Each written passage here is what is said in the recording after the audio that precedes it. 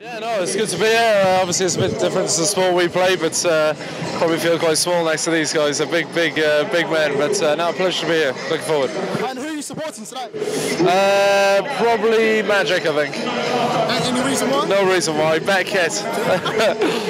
Better than the Harlequins, quick. Uh, no, no, no. The Harlequins kit's uh, pretty unique, but uh, yeah, no. I- Look, I don't follow the NBA too much. I was lucky to go to a match. I saw the Knicks play in Madison Square Garden last uh, December uh, in 2014. So yeah, yeah, it's uh, it's not a sport I follow too much, but now it's here in London. It's, it's great to come down and watch it. So. And finally, last word on uh, Harlequins. Obviously, European Cup coming up.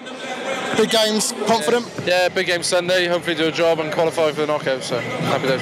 Top.